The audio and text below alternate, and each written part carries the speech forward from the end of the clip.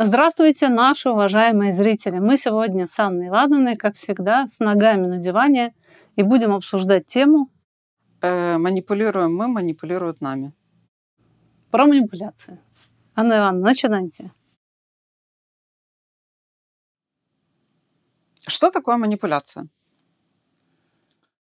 А, Я думаю, что манипуляция — это попытка подчинить человека помимо его воли собственному желанию.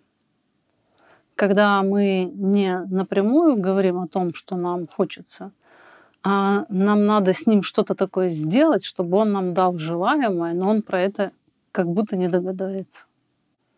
То есть это в какой-то степени немножко обман?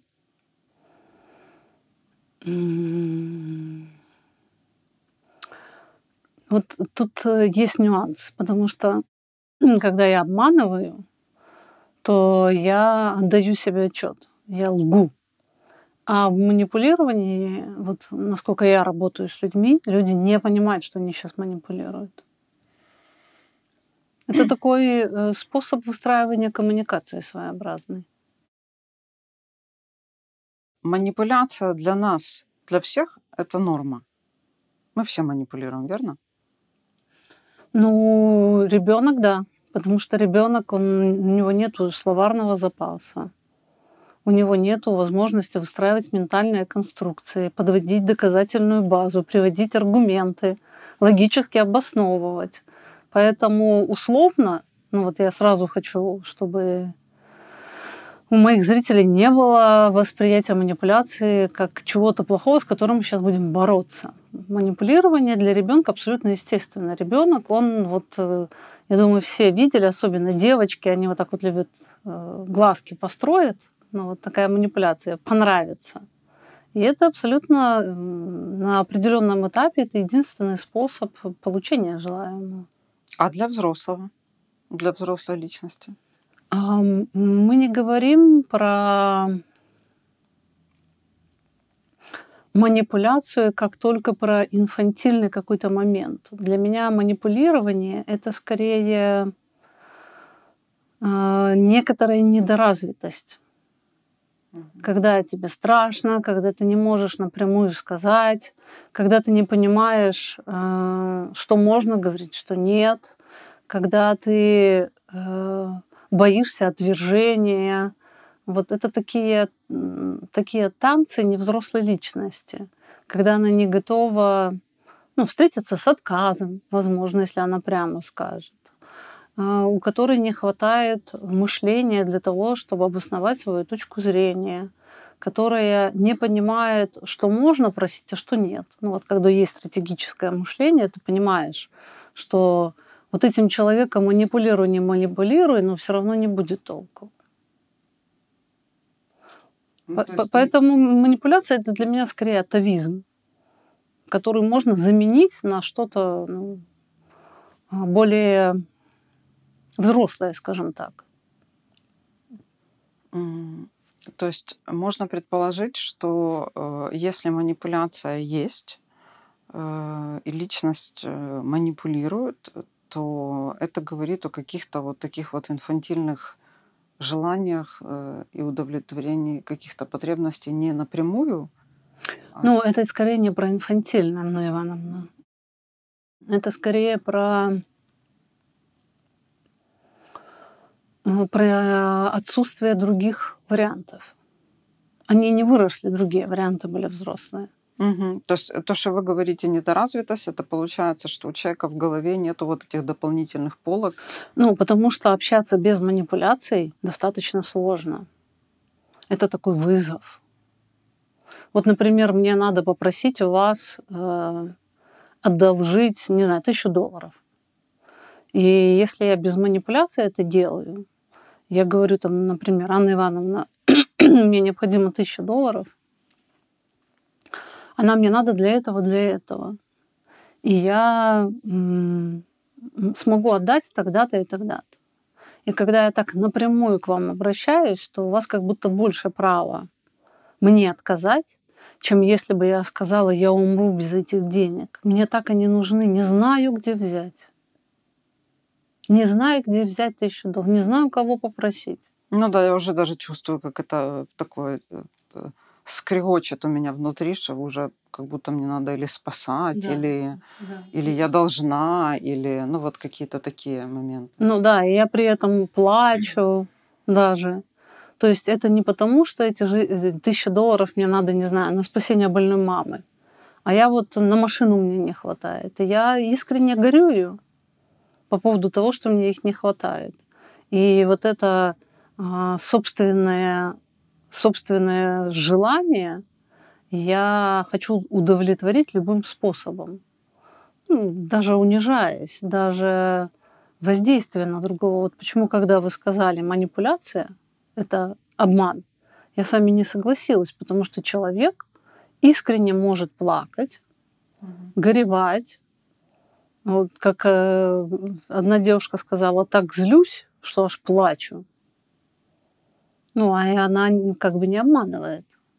Но это определенное воздействие на другого, чтобы с помощью слез и жалости принудить его дать желаемое. То есть это уже воздействие, а, где человек друга как бы немного лишается воли.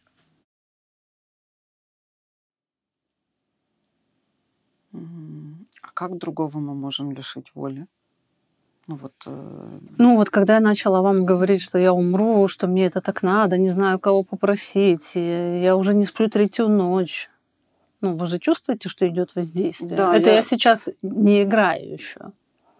Ну, а это же можно. Господи, третью ночь не сплю. Так вымоталась, так вымоталась. Так невыносимо это все переживать, эту беспомощность. Папа у меня пил, мама никогда не помогала. И вот сейчас я совсем одна. И некому, некому дать мне эту тысячу долларов.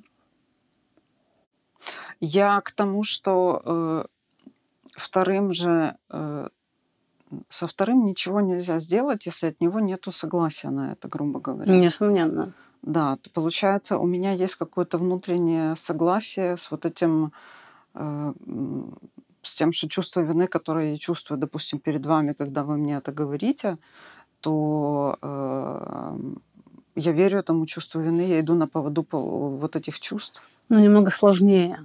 А здесь идет воздействие на другое. А Здесь идет воздействие на ваше желание обрести значимость.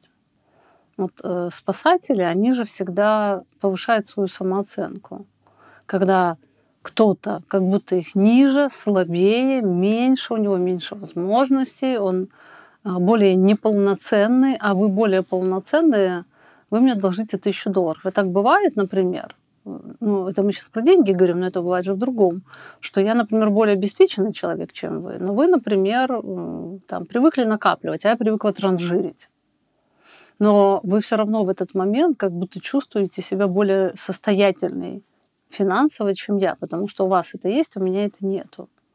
И вы, соглашаясь на это, получаете ощущение, что вы спасительница, что вы значимая, что вы главная. Я не говорю про то, что ну, не одалживать денег, не помогать другим. Но это надо делать, но неплохо было бы иметь объективное представление.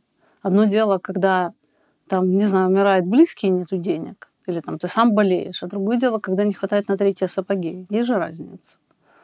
То есть э, с точки зрения эмоционального моего воздействия на вас, я могу одинаково горевать и по поводу своей болезни, и по поводу третьих сапог. А с точки зрения объективной реальности, ну, здесь понятно, как делать выбор. Тогда такой вопрос. Э, Если я иду на поводу вроде бы вот, э, вот этого чувства вины, и как будто э, должна помочь. Ну, это не про чувство вины. Вот я хочу понять, э, чего я не вижу, потому что я как будто вину почувствовала, и я такая вот, ну вот мне же надо. Это скорее плохость. Вы почувствовали плохость. Да, это скорее плохость, чем чувство вины, потому что а, вы почувствовали жалость ко мне. Почувствовать жалость к другому — это сразу стать на табуреточку выше, чем он. То есть я слабая, вы сильная, и если вы сильная мне не поможете, а слабая, значит, вы плохая. Здесь скорее про плохость. Ну, видите, как она у меня завернута? То есть я как будто тоже не понимаю этот процесс, не вывожу в сознание, что я, например, чувствую себя не очень хорошо, когда вот слушаю это от вас, там, да, вот эту просьбу. И как будто из-за этих чувств я не могу помыслить и разобрать эту ситуацию, а сразу мне как будто ковер расстелили, красную дорожку, вот в это ощущение важности. Ну, еще вам хочется избавиться от этого чувства, дать этих денег, чтобы вот так попрошайки делают, они долбят, долбят, долбят для того, чтобы человек дал деньги, и все. Говорит, там, мне я не ел, я не пил. Вот мы, когда проходим мимо людей, которые просят милостыню, мы в этот момент все время ощущаем свою плохость. Я одет, я обут, я обеспечен, а он не обеспечен. И мы ощущаем эту плохость и как будто избавляемся от нее, отдавая деньги. Я не говорю про то, что не надо помогать. Я говорю, э, как это происходит внутри. А если мы возьмем более, вот как раз у меня был этот вопрос эм, в голове, когда вы говорили про вот помощь, и мы проходим там мимо кого-то, не знаю, там рядом с церковью люди просят деньги. А, как э, мы можем помочь, но не из этой плохости? Ну, когда у меня есть возможность помочь, я помогаю. Из плохости это когда мы ощущаем большую важность, когда это делаем. Некоторые люди вгоняют в эмоциональные долги или финансовые долги других. Они прям навязывают свою помощь. У меня там есть знакомые, я договорюсь, ты говоришь, да я сама могу.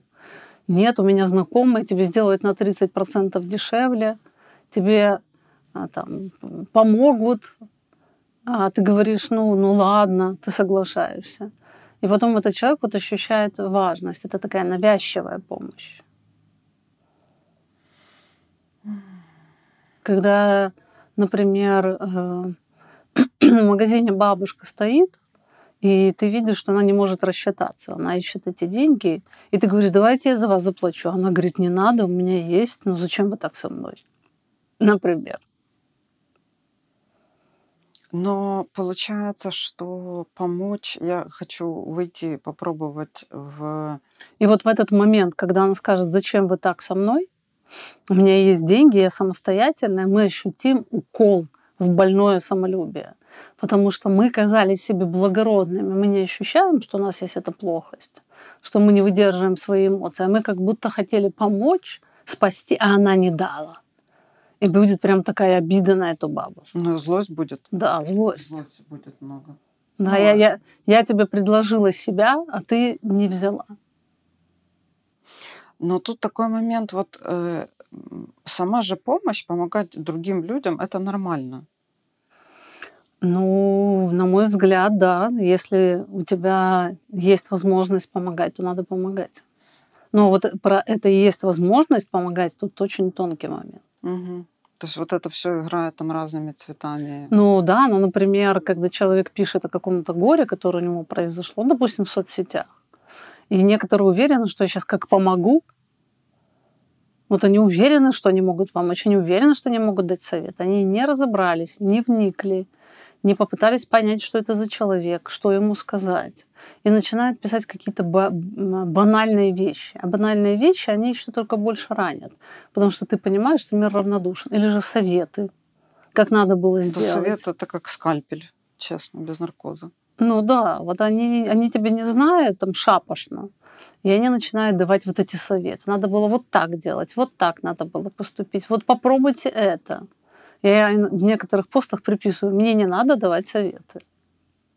Поэтому, видите, помочь, могу ли я помочь? Или как некоторые начинают э, мамкиными психологами работать, когда они начинают там давать какие-то тоже важные советы.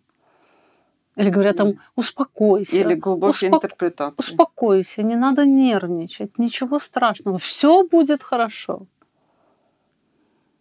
Меня на все будет хорошо, встает дыбом вся шерсть.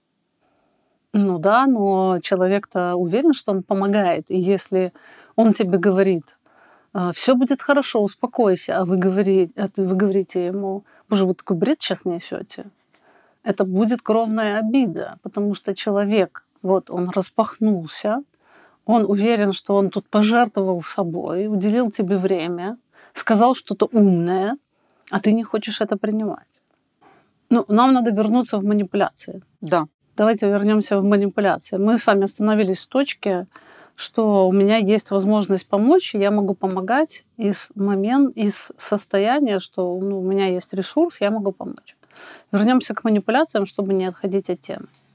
Э, да. Э, есть ли какие-то э, виды манипуляций или э, какие-то варианты манипуляций в зависимости от того, какая структура у личности?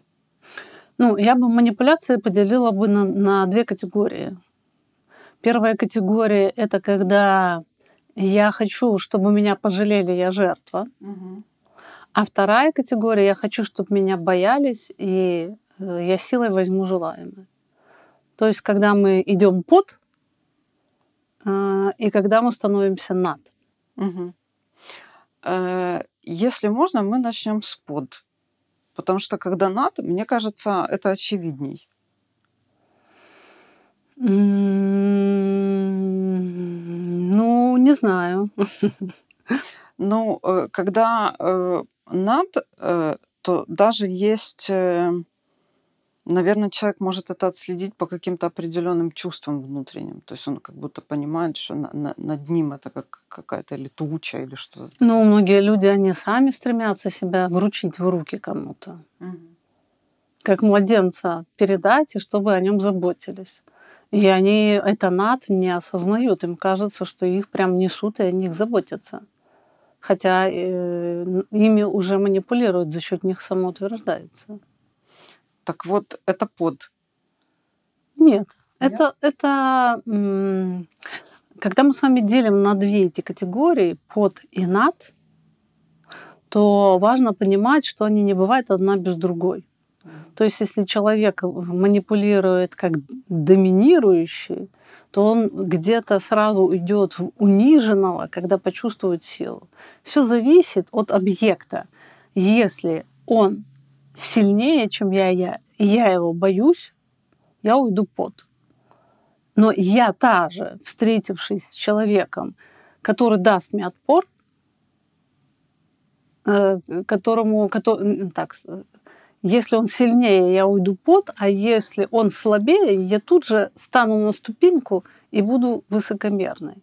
И высокомерный, и присмыкающийся одни и те же люди. Эм, я бы хотела все-таки все равно поговорить, вот начать именно с этой присмыкающейся части, вот, потому что э,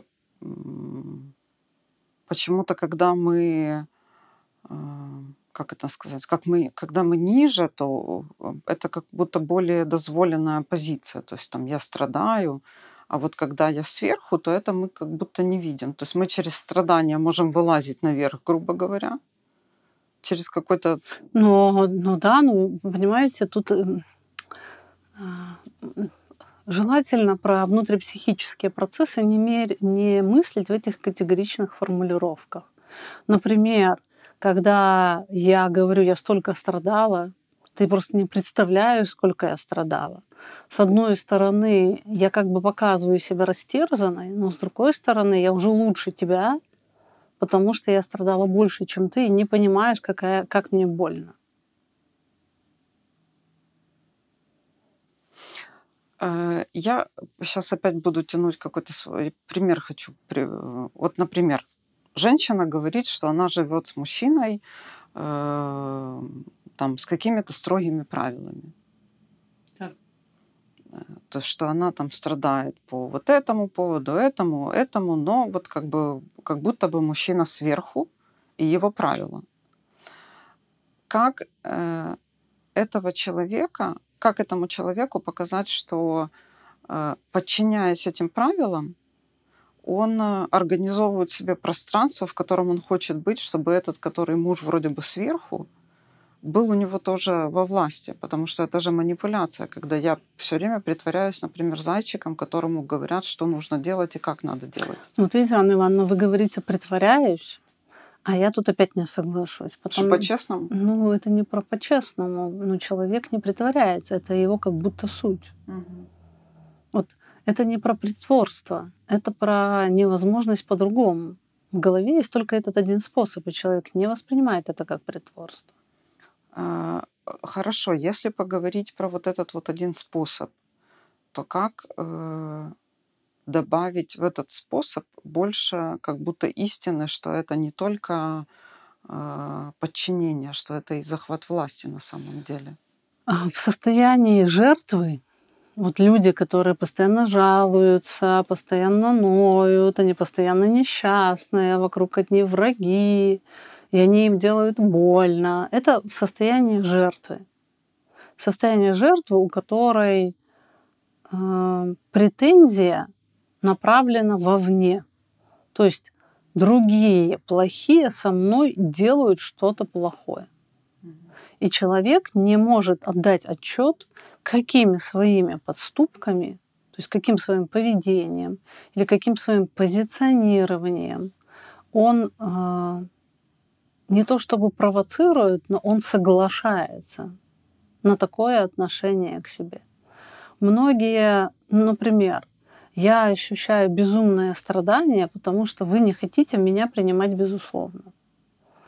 Вот я хочу, вот давайте, допустим, приходит ко мне на сессию девушка и говорит, я хочу убить своего мужа. Например, он меня достал, он чудовище, он изверг.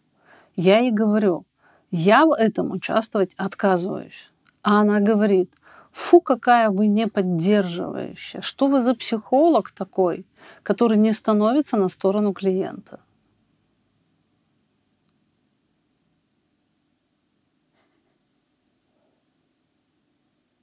И она манипулирует мной, она пытается создать у меня плохость.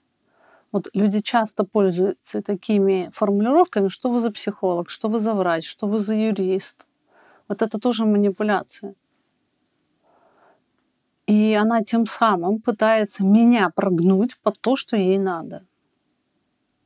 Она пытается меня принудить дать ей желаемое. И изнутри она будет искренне страдать. Она будет искренне считать, что я холодная и неэмпатичная, раз я не хочу участвовать э, в планировании убийства.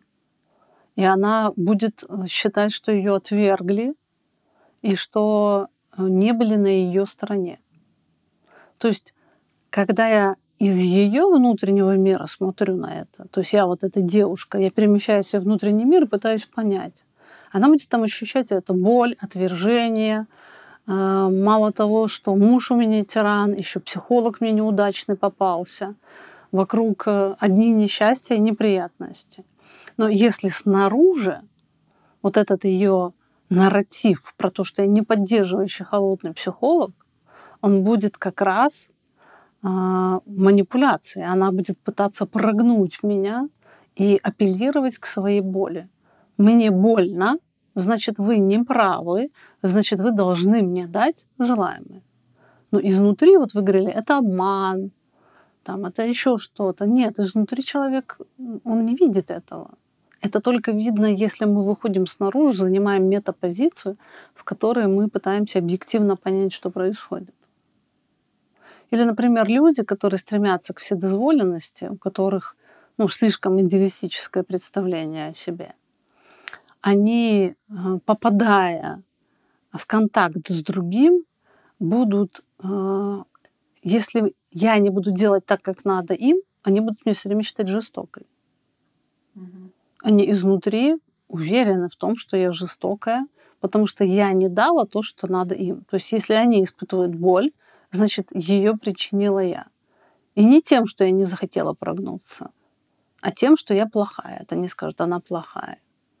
То есть, видите, когда мы рассматриваем объект, зацикленный на себе, то он э, будет транслировать, рассказывать про свою боль, что это не так, что это не свобода. Но по факту это может быть рассмотрено как манипуляция. Ну, а человек, по сути, приносит, э, ну, как бы боль, страдания и э, обиду в своей теории. А, Да, потому что если у него нет взгляда со стороны на себя, то он как будто не замечает собственную агрессию. Ну, если я плачу и говорю, вы не ведете себя так, как надо мне, вы не хотите со мной участвовать в каком-то преступлении, допустим, или в заговоре, или в какой-то манипуляции, то я опираюсь на свои чувства. Мне действительно от этого больно. У меня нет сомнения в этом. То есть чем человек больше зациклен на себе, тем он будет манипулятивнее, потому что достигнуть желания напрямую — это учитывать другого, это сотрудничать с ним.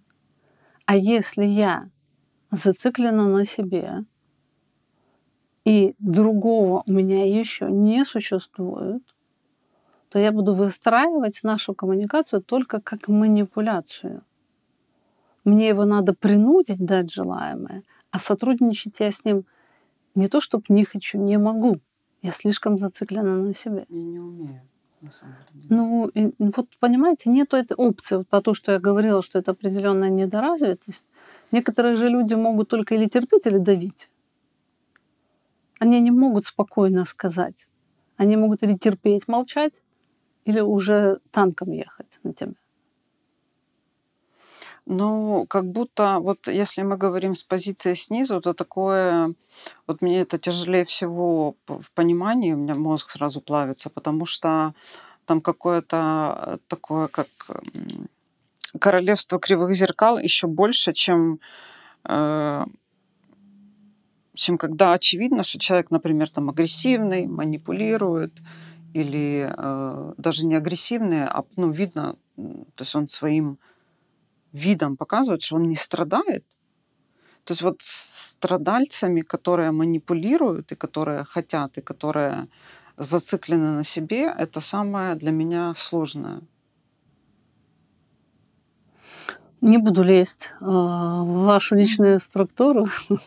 Ну, э, я понимаю, что это происходит, потому что я это плохо вижу. Ну, потому что вы этим пользуетесь. Да, и я, получается, э, это не, ну, то есть вот этот объем чувств, за счет которого я якобы эм, вынуждаю себя к манипуляции, да, я его не ставлю под сомнение. То есть я такой же как бы манипулятор, грубо говоря, снизу. Но вот это вот перекрутить... Но не только. Смотрите, когда мы сверху, а, это вообще не будет узнаваться. Это будет еще стираться.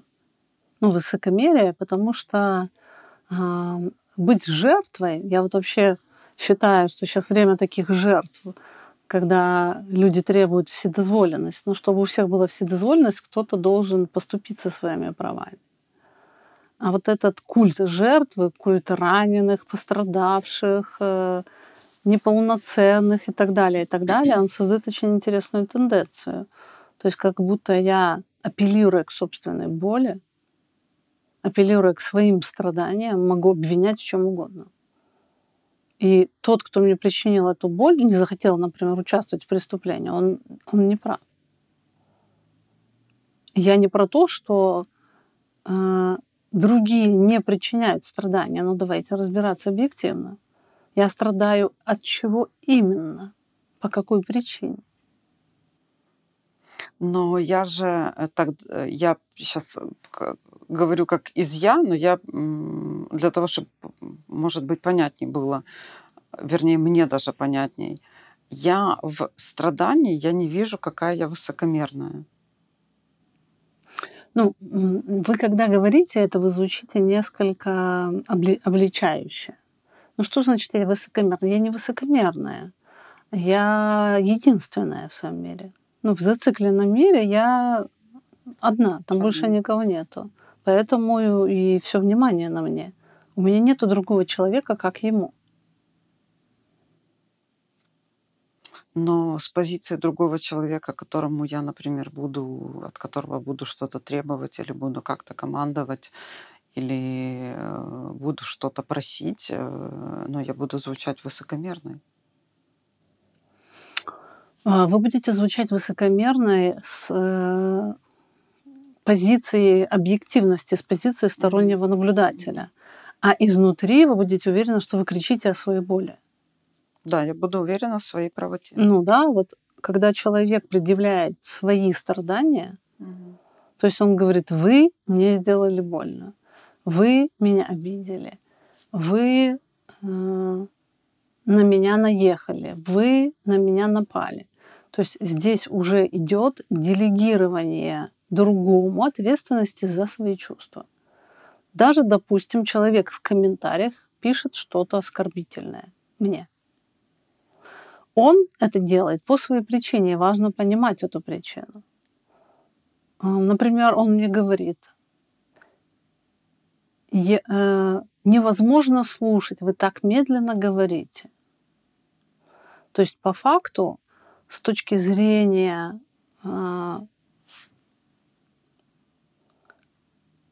общепринятой. Это можно назвать манипуляцией в какой-то мере. То есть он принуждает меня делать так, как надо ему. Он говорит, что так, так неправильно говорить блогерам. Блогеры говор, должны говорить быстрее.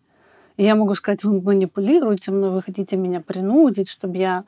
Вот это все я могу разогнать. Но если я умный человек, то я собственное поднявшееся негативное чувство – не буду воспринимать как то, что он мне вручил. Я рассмотрю его отдельно. Он хочет, чтобы я говорила быстрее. Это его желание. Я ощущаю плохость из-за того, что мной кто-то недоволен. Мной кто-то не восхищен. И я должна сконтейнировать эту плохость. И для этого мне надо обнаружить этого другого человека или же мне человек пишет. Я ощущаю себя все хуже и хуже от ваших видео. У меня началась еще большая депрессия. То есть это говорит о том, что человек смотрит мои видео и воспринимает их не как инструмент для понимания, а он атакует себя аутоагрессией, но он собственную аутоагрессию не признает и он считает, что это я на него напал. Я наблюдала великолепный момент, вот манипуляцию э, с общепринятой точки зрения. Манипуляция с точки зрения вдумчивого аналитика совсем другое. Я хожу на танцы, и одна женщина, она ну, не очень хорошо получается. Она такая зажатая. И э, она постоянно про это говорит. У меня не получается. У меня не получается. То есть у нее такой крик ребенка, направленный вовне, чтобы на, меня, на нее обратили внимание. Она не может сказать, помогите мне вот она это, это, это сделать. Да. Она как бы манипулирует, но с ее точки зрения она одна. Там нету других людей. И она кричит о том, что у нее не получается. А, преподаватель говорит о том, что у нее да все нормально, у всех получается не очень. Она говорит, нет, у меня не получается. То есть она не видит других. Ей кажется, что она единственная там, и у нее хуже всех. Но вот в этой хуже всех тоже есть исключительность. А, и в какой-то момент она выдает фразу. Мне кажется, руководителю, что я вас раздражаю тем, что меня не получается. То есть она атакует себя. Свое не присвоено. Да. Совсем. За то, что у нее не получается, она вообще это не может присвоить. У нее постоянные атаки, она пытается найти источник, она свою агрессию не присваивает, и она впихивает это в преподавателя, но все время в главного все проекции идут. Она впихивает и она смотрит на нее. И та начинает ее убеждать, что да все хорошо, да у вас нет, я не злюсь, я вообще не нервничаю. Но мы бы могли назвать это манипуляцией, Ивановна. Угу. мы бы могли сказать, что она манипулятивным способом принуждает руководителя группы сказать ей комплимент или же заняться ею. Но если мы уже вышли за, э, вышли на более глубокий уровень, то мы понимаем, что это все происходит внутри ее мира, что она не замечает аутоагрессию, что она там одна, она себя не может сравнить, ей кажется, что она хуже всех. То есть из-за этой зацикленности на себе она выдает вот такое поведение. Можно ли на нее обижаться? Можно ли ее считать манипулятором? Можно ли считать ее обманщицей? Неизвестно. А, а если поговорить про манипуляции с позиции сверху? Так. И Вот я лучше вас разбираюсь в психологии. Вот сейчас я самоутвердилась. Это была манипуляция сверху. Или я вам говорю, нет, ну как можно было так одеться?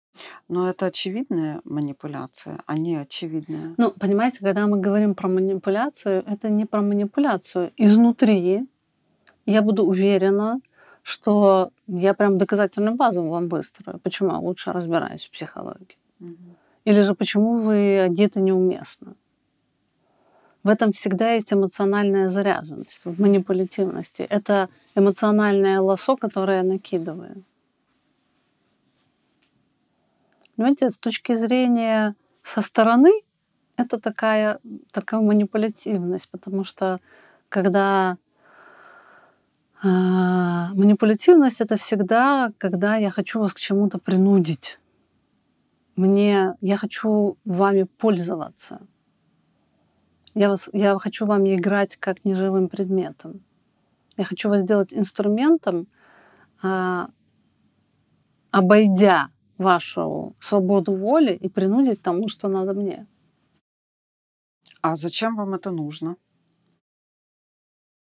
Ну, многие манипулируют только из ощущения власти. Я вот наблюдаю, как люди манипулируют. Они манипулируют только для того, чтобы ощутить вот этот эмоциональный приход такой наркоманский. Мгм. Физи- Какое-то физическое, да, такое Да, да, удовольствие? да, да. Но можно манипулировать, например, для, не знаю, там, запугать.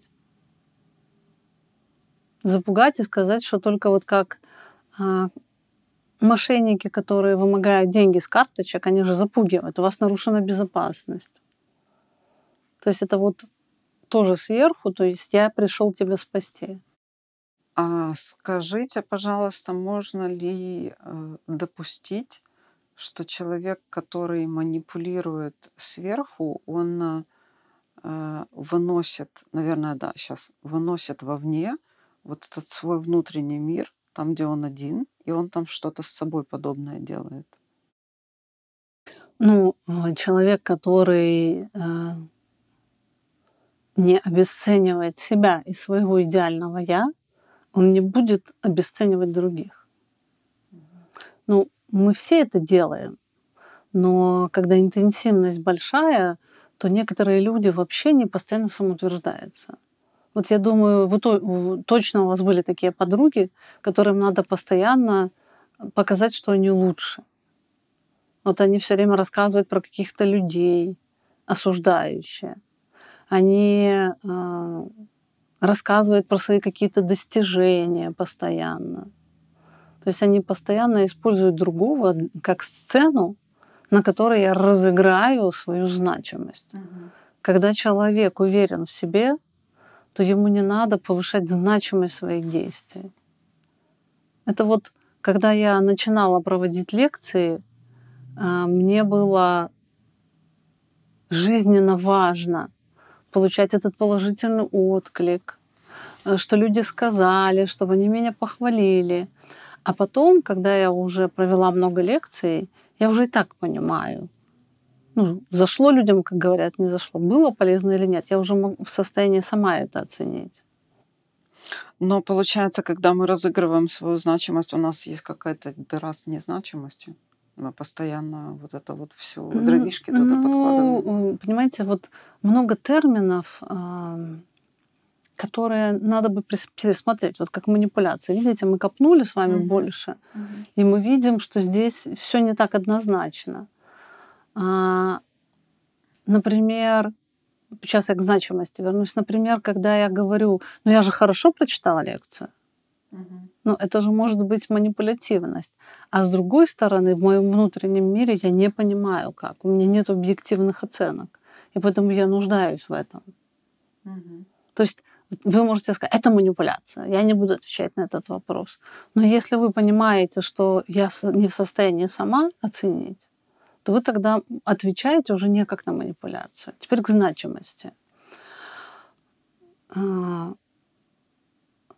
ощущение значимости появляется, когда я могу достигнуть то, чего я хочу. Тогда я значимый, ценный, я умелый. Угу. Я хочу, я получаю. Смотрите, если мы делаем вот такое хочу нереалистичное, хочу принятия, хочу восхищения от всех, хочу мир во всем мире, хочу, чтобы солнце всегда светило. Погода, чтобы всегда подходила. Если мое хочу вот такое, то я буду себя чувствовать абсолютно неполноценно. Я не могу это обеспечить. Если мое хочу реалистичное, я понимаю, какой мир, он разный то тогда э, я не буду испытывать вот этой неудовлетворенности. И я буду ставить цели в соответствии, в соответствии со своими возможностями. И достигнув ее, я буду получать ощущение молодец. Но если я работаю, допустим, психоаналитиком, я обесцениваю этот труд, или же наоборот, я делаю его избыточно значимым. Я спасаю людей. Я спасаю людей. Если я обесцениваю в этом труде, не будет ценности. Я не буду ощущать удовлетворенность. Если у меня, например, желание человека поменять за три дня, угу. я могу обесценивать это. Или же я спасаю людей. Тогда, если кого-то не спасу, у меня крах сразу. То есть, видите, тут, когда мы говорим про ценность, мы говорим про некую сбалансированность. То есть, если личность встроена в реальность, если у нее есть понимание, я это могу, я это делаю, то она себя будет чувствовать ценной. А у идеалистов их неудовлетворенность будет громадной всегда, боль будет громадной, неудовлетворенность будет громадной, и отсутствие ценности будет громадным. И поэтому надо постоянно как Робин Бобин Боробец, Беб съел 14 котлет. Надо все время затыкать, затыкать, затыкать. Ну, и опять-таки это мир такой, там, где ты один. Вот э, то, что вы говорите про ну, вот эту потребность, ее, которую нужно затыкать. То есть ты там не соотносишься ни с другими, ни с своими возможностями, ни с чужими возможностями. Ну, понимаете, несоотнесенность со своими возможностями, она происходит не из того, что ты там один. Но вы сделали нелогичную связку для меня сейчас. Устали? Не из, да, не из того, что ты один, а из чего? Из-за того, что у тебя реальность, которая все время меняет параметры. Если ты не опираешься на объективную реальность, а ты в придуманной, угу. то у тебя от настроения зависит, ты великий или ничтожный. Угу. И то, что ты можешь, зависит не от фактических твоих способностей, а от э, того, какое у тебя эмоциональное состояние. У тебя плохое настроение, ты ничтожный, у тебя хорошее, ты ценный. Вот почему опасно жить в этом придуманном мире, почему опасно ненавидеть объективность. Ну, еще опасно на чувства опираться, вот такие, которые затапливают нас. Ну, понимаете, вы говорите, опасно опираться на чувства, нам больше не на что опереться. А, да, но, но мы достаточно часто себя подводим в чувствах. А, чувства свои надо понимать. И опираться на них придется. Больше ничего у нас нет. Угу. Ничего у нас нет. Я про мышление у нас есть, но мышление, оно обрабатывает потом чувства.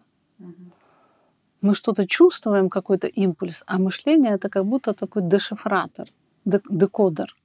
Оно расшифровывает и облачает это в мысль. У нас какой-то импульс пошел. Вот я, например, мысль какую-то, э, я ее ощущаю как импульс. Я ее потом расшифровываю, как вот. Она сначала возникает, у меня сначала возникает такой, м-м", я понимаю, что это что-то ценное, а что – и пытаюсь понять, и тогда мое мышление помогает мне разворачивать это. Но это все равно про пульсацию внутри. Но, несомненно, если у человека нет ума, он может быть... Вот у меня, например, сверхчувствительность. Это мое наказание, это мой талант.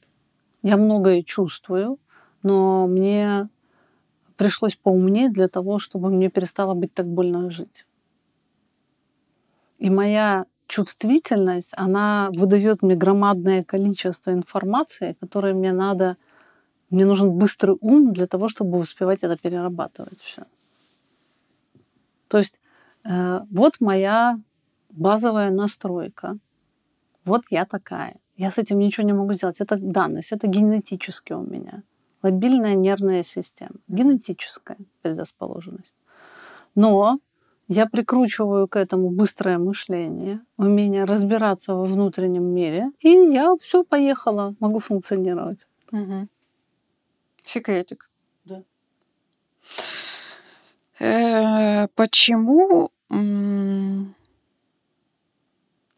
для человека, который манипулирует, так страшно разоблачение?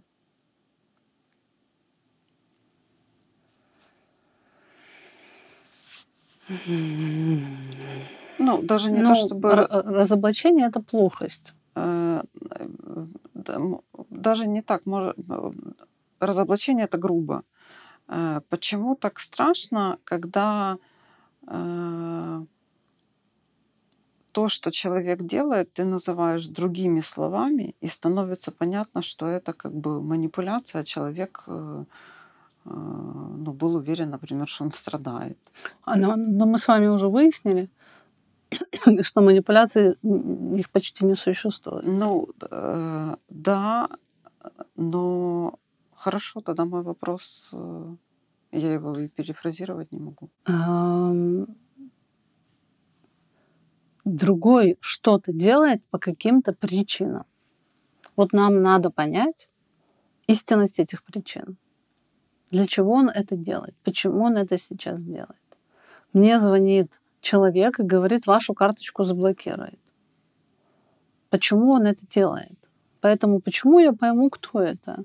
Это мошенник, это работник банка. Мне надо понять, почему он это делает, для чего это делает, кто это делает. А если я на это реагирую сразу эмоциональным всплеском и иду за своим эмоциональным всплеском, то по все последующие действия я буду делать из, этого, из этих чувственных эмоций. Если я не вижу, кто это. Поэтому, э, чтобы не начать делать то, что я не хочу, например, я читаю объявление в Фейсбуке, провожу курсы за три дня, обучаю мышлению. Ну, это мы можем назвать манипуляцией. Можем. Да? Угу. Тебе как бы врут и хотят куда-то вовлечь. Но если я э, взрослая, если я понимаю, что мышление, оно выстраивается постепенно и многие годы, то я не поведусь на это. Но если я хочу обмануться, я хочу что-то быстро, тогда я в эту манипуляцию включусь. То есть фактически манипулировать легче всего людьми, которые верят в сказки. Я имею в виду, верят в какое-то быстро, просто, в свою исключительность. Я вот выкладывала как-то ролик в инсайтах Демчук в Телеграме про мужчину, который говорит, э, что я могу соблазнить любую женщину. А женщина говорит, ну только не меня. Он говорит, конечно, не тебя, ты же особенная. Класс, как за, завернуто. Понимаете? Mm-hmm.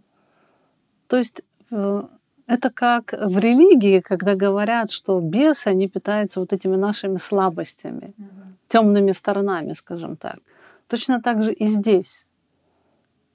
Э, слабые места, вот как э, общаются люди, в которых много звериного, ну, вот которые вот так дети, они считывают.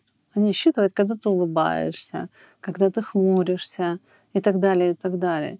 И поэтому, когда человек сидит с нейтральным лицом, он кажется холодным, отвергающим, потому что у тебя нет данных, чтобы эти крючки зацепить. А, если взять примеры, я хочу все равно я как-то линейно. Я бы еще хотела да. сказать, э, вот важно для зрителей наших, про манипуляции в про тему манипуляции в слушании видео. Вот множество блогеров, у них э, видео выстроено на манипуляции. И мы захвачены этим и не понимаем, что нами манипулируют. Что я имею в виду, это когда нас эмоционально куда-то втягивает. То есть садят на эти эмоциональные крючки для того, чтобы вовлекать в эту аудиторию. Они создают какой-то эффект вау. Ну... И этот эффект вау эмоциональный там. Или же э, говорят, как не стыдно. Как они могли так поступить? Как не стыдно. Или же говорят, только мой метод может помочь. Или же говорят, бойтесь нарциссов. Или же говорят, я вообще пришла, чтобы вас спасти. И когда вот на этот эмоциональный поводок человек пойман, он может, как сам нам было, идти, нести деньги, не пытаться вникнуть, не пытаться разбираться. Вот э, почему нам нравятся люди, э, которые назначают себя мессиями. Ну, вот они спасители такие. Вот, ну, только он, только он, только она потому что мы сами хотели бы быть этими исключительными. Да. То есть я буду в Мессию верить, когда а, у меня есть исключительность. И Мессия — это всегда... Мессия всегда предлагает какой-то быстрый путь. Не расти самому, а он говорит, я по-быстрому сейчас покажу, где рай. Вот там. Я быстро вот это вот все порешаю. Да, говорите, Анна Ивановна, то, что вы хотите. Я хотела попробовать, э, вот, например, вы мне говорите слезно, что вам там тысяча долларов для вас это вот как раз сейчас то, что нужно, и там, ну вот как вы пример приводили. Э, я, например, в ситуации, когда вы там когда вы не плачете там или объясняете, почему это вам нужно, это становится понятно. То есть я могу понять, я вам могу помочь или я вам отказываю. Тоже ваш пример вначале был. А когда вы, э, когда я понимаю, что вы платите, что у вас нету тысячи долларов там на третьи сапоги, а, насколько будет мне э, корректно, вот э, это я говорила про то, что разоблачение, которое вы сказали, что это такая грубая форма. Насколько мне будет корректно сказать вам, что, ну, Ольга Федоровна, э, я не могу? Ну, когда вы говорите, а, как мне сказать корректно, что я не могу? А, вы, когда это говорите, у вас как будто нету второго. Ну, вы можете корректно только согласиться для, в его картине. Ага. Все, все остальное будет некорректно. То есть все остальное, даже если я там добавлю какие-то факты реальности, скорее всего, человек на это будет обижен или недоволен, и тут нельзя выйти как бы в белом пальто из этой ситуации. Нет, но из множества ситуаций нельзя выйти в белом пальто. Угу. Когда человек предъявляет претензии, он, это не значит, что он хочет аргументированно вашего ответа, mm что он хочет разобраться. Он просто может хотеть вылить э, накопившиеся помои внутри. У него злость, ему надо кого-то... Вот я перестала публиковать короткие видео, и, инста... и вот эти короткие инсайты тоже надо прекращать публиковать, потому что больше всего гадостей пишут под ними. Вот для того, чтобы понять длинный ролик, вот с ногами на диване у нас смотрят меньше, чем короткие. Потому что здесь надо сидеть, вникать, потратить время. 15-минутный ролик тоже его надо осмыслить. А минутный можно всегда найти к чему прицепиться. Ну, я, я все понял. Всё нет, нет, нет. Ну, э, когда у меня э, нету собственной ценности, то самый простой способ это обесценить другого. И тогда я начинаю пристально выискивать тонкие места ошибки, к чему бы доколупаться. А к, к чему доколупаться можно всегда найти. Вообще без проблем. У каждого. И человек это делая, вот он вот эти вот все гадости пишет. Ну, я поняла, что бесполезно. Я никому не помогаю этими короткими видео. Человек ничего не понял, но я как будто становлюсь видимой для воронья. Они при, прилетают, чтобы вот самоутвердиться за счет меня. Поэтому я ну, не вижу в этом смысла. Это интересно. Ну да, вот люди, которые выхватывают одну какую-то мысль, начинают ее крутить, как кубик Рубика, вот так вот зацикленно. Вот они из-за этой широты они не могут, э, из-за отсутствия широты они не могут постичь. Но им хочется хоть какое-то мнение.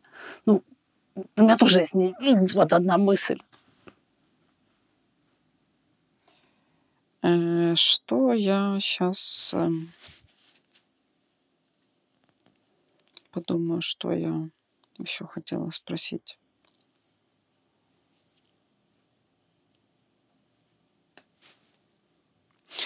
Я, наверное, хотела, может быть, чуть-чуть подытожить э, про то, что вот там, где мы говорили манипуляция, там чувство вины или жалость. Вот это... э, знаете, какой момент? Я, простите, вас перебью, нам важно про это сказать. Когда я иду через жалость, угу. то я предлагаю всю себя. И поэтому, э, когда человек высокомерный и его отшивает, это не так болезненно. Угу. А когда человек униженный, вот этот присмыкающийся, то для него будет очень болезненно, если его отвергнут. Вот если э, приходит клиент, который себя навязчиво предлагает, весь такой хороший, смотрит в рот, прогибается, то э, любое отношение к нему не восторженное, он будет воспринимать как отвержение, потому что он себя уже предложил сейчас. То есть как будто, а, если ты не дашь ему восторг, ты его однозначно ранишь.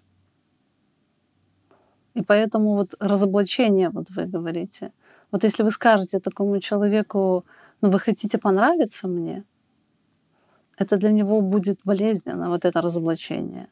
Ну да, или э, сказать, ну вы мне сейчас это предлагаете, а потом попросите меня что-то другое в четыре раза больше, например. Она, она звучит категорично. категорично. Ну, вот видите, вы э, судите об этом как, э, как человек, на которого нападают. Угу. И поэтому воинственность. Ну, так не надо мыслить о людях, это будет создавать напряжение. Но этот человек может только так. Угу. Он по-другому не может, он на вас не нападает. У него нет желания вас обмануть, он может только так. Ну, надо как-то говорить, что не, ну, не надо под меня подстраиваться там. Или же давайте попробуем по-другому, давайте попробуем наравне. Вот, например, я с клиентами, пока не выхожу в позицию наравне, я им не могу помочь. Потому что все, что я говорю, они будут воспринимать как глаз Божий. Или же им надо меня обесценить, чтобы не воспринимать это как глаз Божий. То есть, если я это говорю, это правда навсегда, обо всем всегда, я, например, говорю, вы под меня подстраиваетесь. Здесь человек воспринимает, я человек, который подстраивается под всех всегда, навсегда и ему только можно меня обесценить, только тогда он не будет воспринимать это как э, гром среди ясного неба. Да, это вот это восприятие, которое я только что продемонстрировала на самом деле. Про... Вы потребуете от меня в четыре раза больше? Но это про какое-то ваше... Понимаете, ведь ну, есть же люди, которые помогают, потому что они могут. А. которые подстраиваются, потому что они умнее. Да, но я у меня это все равно в других категориях, хоть я стараюсь не, вроде бы не делить там, да, на черное, на белое, на плохих и не, на хороших людей, но в целом я как будто бы сама так достаточно деспотично отношу это к каким-то качествам таким не очень.